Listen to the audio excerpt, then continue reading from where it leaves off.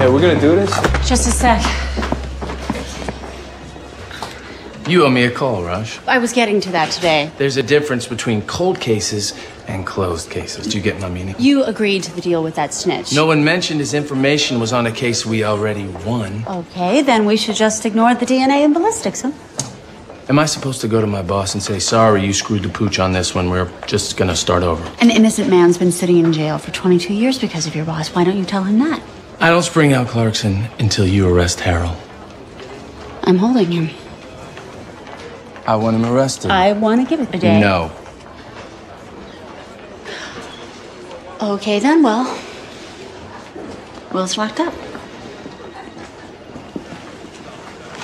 Who's that charmer? ADA Kite. He's above cops. Ain't above checking you out.